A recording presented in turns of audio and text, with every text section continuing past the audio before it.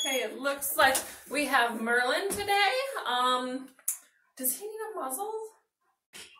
Don't worry, I, got him. I got him. Uh, okay, I got him.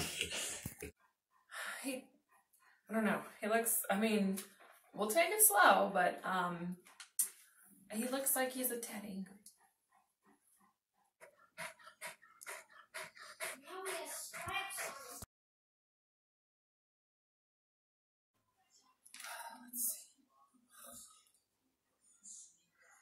This is gonna be fun.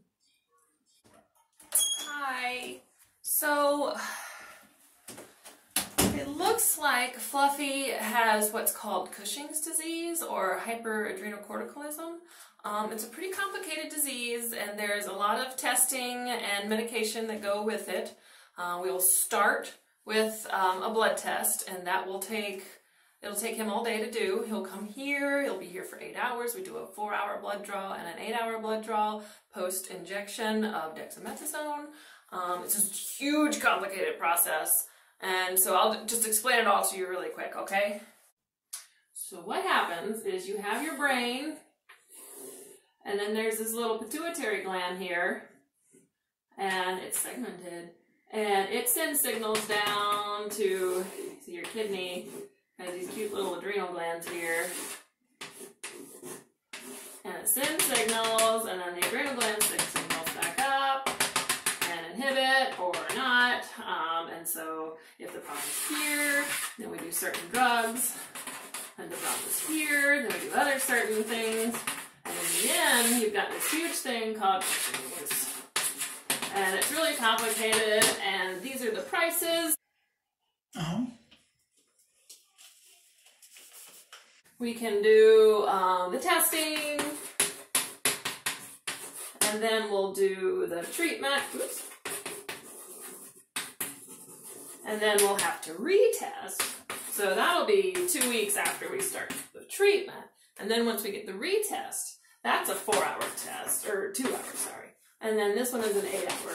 And then we'll do the, we'll alter the treatment, whether or not it works. Uh, and then we'll retest. And then hopefully by then you've got your pituitary working with your kidneys and all the signals are crossed and like that. And see, it, Uh huh. Okay. it's a pretty simple process. Okay. Okay. Do you think if I called my wife, you could explain all that? I, she's the one that takes care of this. I'm. She just told me to bring in the dog. Here, I, I got my phone. I can call her right right now. and Put on speakerphone. Is that okay? Oh, um, yeah, I guess I can do all that explaining again. Yeah, um, sure. You want to call her and put her on speaker then? Okay. Okay, it looks like we.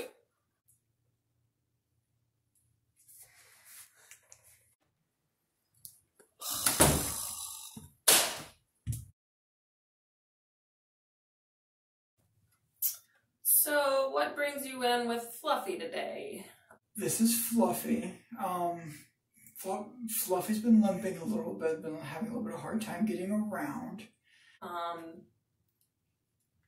so she's she's limping and having a hard time getting around the house. Um, well, we, we can definitely consider some pain medication for her, um, but I think the first thing we can do that's going to help her a ton is to get rid of some of her excessive weight. You think she's fat? She's not. She's not fat. She's big bone. She, she's a good size. Come on, she's not fat. Um, I mean, kind of. She's kind of a little, little overweight there. Um, She might be a little overweight, but she is a Maine Coon. I mean, it's she's supposed to be big. oh, Maine Coon, huh? Pure Maine Coon.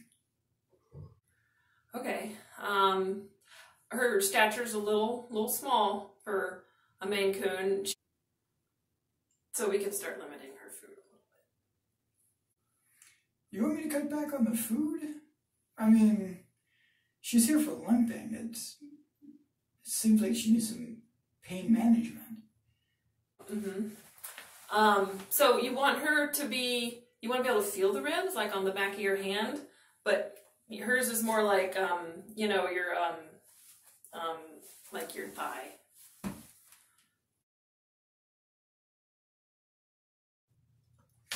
Hi, I'm Dr. Thomas. I'm here to see Fluffy.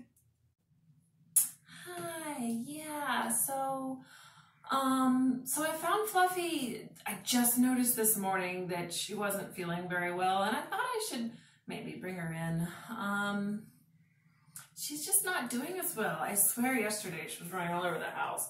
Um, but today, um, she's just not herself. She's a little thin, um, a little floppy maybe. So she's been you you found her like this? This has been going on just yesterday. Mhm. Okay. Okay. Uh, we need to take her back. We need to go ahead and hand her to me. We need to take her back. Start start some fluids, blood work. Here, I need to get, I need to take her back now. Uh, oh, oh, you, you need her right now? You think she's you think she's really sick? Uh, oh, yeah. You know, oh gosh, my cat. You know what? Um, my neighbor's cat was just sick. Do you think there's something going around the neighborhood? But then, but wait, no, no, that wasn't my neighbor. I'm sorry. That was um an aunt. Okay. Okay. Okay. Oh yeah. All right. Come. few years back.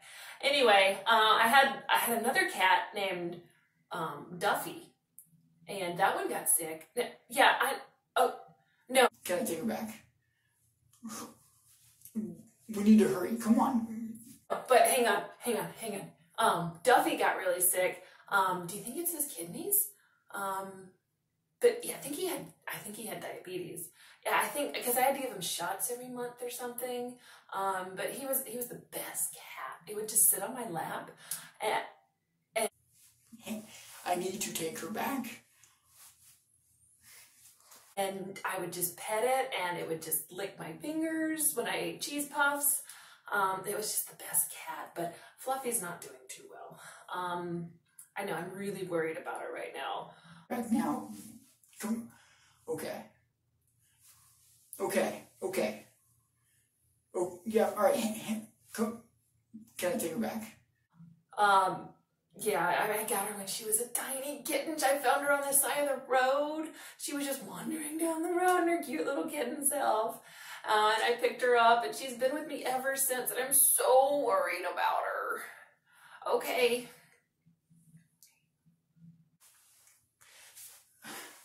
Th- all right. All right. Oh, can can you trim her nails while she's back there? Thanks.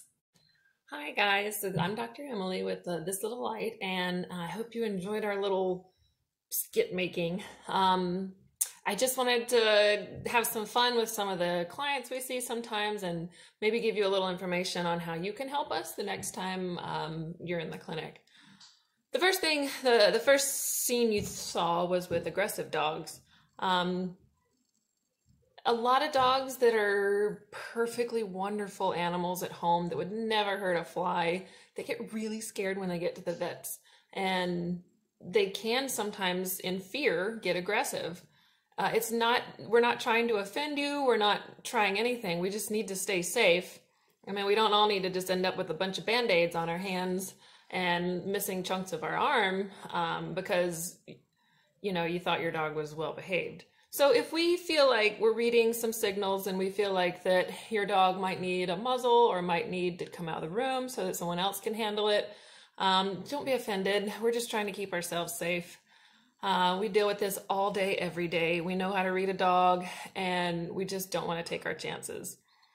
Um, so moving on to the scenario number two, uh, know your history. If you're I understand that not everybody can bring their own pet to the hospital or to the vet, but if you do have someone else bring your pet, just make sure that they're informed. Is the animal eating? Is it drinking? Is it having vomiting or diarrhea? Is it coughing? Has it been limping? Which leg is it? Um, anything that you can get the person who's bringing the animal to know is going to help us a ton figuring out what's going on. Um, the other thing is try to pay attention when we're explaining to you what's going on. And if you know that you're not going to be the one to take all this information in, then stop us before we go into a 30 minute long spiel about what the disease is and how we're going to treat it and tell us that you're not the one to tell. It's no big deal. Uh, we just, we don't want to waste our, not waste, that's not the right word, I'm sorry we don't want to spend all our time talking to you about this disease process and then have to repeat ourselves over again. So just, you know, know your history and then when you're here with us and we're talking to you, just try to pay attention to what we're telling you. Um, number three scenario is pretty obvious. Try to respect our time. We're running around like crazy trying to get everybody fit in and everybody um, seen within the right amount of time. Sometimes we get backed up with emergencies. But if we walk in on you and you're on your phone, that's fine. Um, but if you could, you know, tell the person that the doctor's here now and I need to get off the phone, that would be very preferred to you telling us that we have to wait for you to get off the phone because now we're making everyone else behind you late as well. Um, the number four scenario is overweight pets. A lot of people are very offended and don't think that their pets are overweight, but unfortunately, obesity in our pet population is extremely common and causes so many problems. I mean, a cat that, or a cat or a dog that is severely overweight or obese is going to have a hard time getting around. They're going to have worse arthritis. Um, whatever pain they're having, now they have to carry another 10, 20 pounds on those painful joints. Um, and it's really easy to get overweight pets just monitor their weight. Um, in theory, they're supposed to, their ribs are supposed to feel like the bones on the back of your hand so you can feel them and you can, you shouldn't be able to see them, but you can feel them. You don't want them obviously to feel too skinny like your fingers and you don't want them to feel too thick like your wrist. Um, so that's the way to kind of tell if your pet is in the right condition. Just because your your animal is a larger breed dog, or even if their dad was supposedly 175 pounds, doesn't mean that your dog should be. Every dog is different. Uh, we need to keep them all in the right weight category to keep them a little healthier. And then lastly, in the fifth scenario, um, especially in this type of situation where there's some sort of emergency, the animal's super sick, and we need to get to them right away, need to get them hydrated, need to figure out what's wrong with them in order to save their life. We just need to know pertinent history. We need to know when this started, um, what we might think it might be. Could they have gotten in anything, toxins, trash, anything else?